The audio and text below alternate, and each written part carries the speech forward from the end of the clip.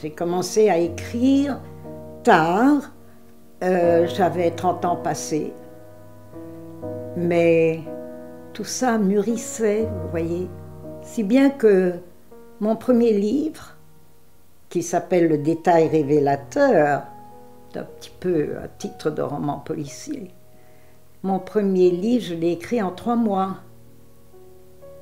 Et vous savez où je l'ai écrit? Je l'ai écrit en Beauce, près de Châteauneuf-en-Thymerais, à Autrive-Saint-Même, où j'ai vécu deux ans avec mes enfants qui étaient petits à l'époque. Et euh, ça, c'est mon premier livre, Le détail révélateur. Puis, euh, je suis venue vivre à Chartres. J'ai eu le coup de foudre. Coup de foudre pour la cathédrale. Je ne peux écrire que quand c'est indispensable. Jamais je ne pourrais écrire si on me dit voilà, tu dois me rendre un livre dans six mois ou dans un an, etc. Moi, j'écris à mon rythme et heureusement, au point où j'en suis, euh, je m'arrange toujours avec les éditeurs pour que leurs vœux euh, coïncident avec les miens, si je puis dire.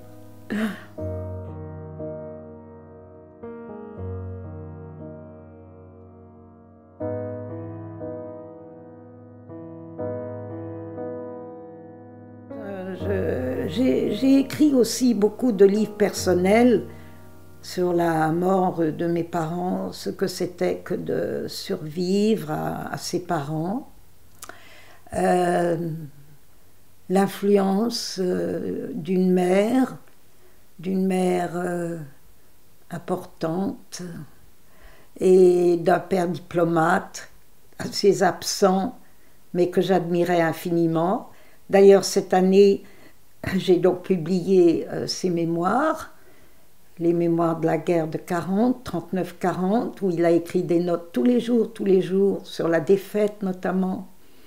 J'ai relu tout ça, ça m'a inspiré beaucoup de pensées euh, qui concernent les rapports des enfants et des parents, parce que je regrette infiniment que nous n'ayons pas discuté de tout cela au moment où il était vivant. Et donc c'était très émouvant pour moi de relire ce livre, de le faire publier. C'était une conversation euh, post-mortem, si j'ose dire. Et euh, je me suis rendu compte, euh, en réfléchissant aux rares conversations que j'ai eues avec lui, combien sa propre mère, qui était la sœur d'Edmond Rostand, avait été importante pour lui.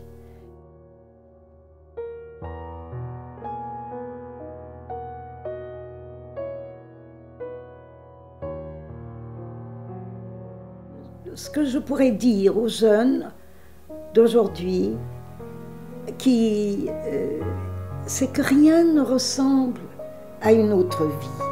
Chaque vie est totalement différente d'une autre. Même s'ils sont comme ça ensemble dans un lycée, dans des vacances, etc. Chacun a son point de vue. C'est ça qui est important.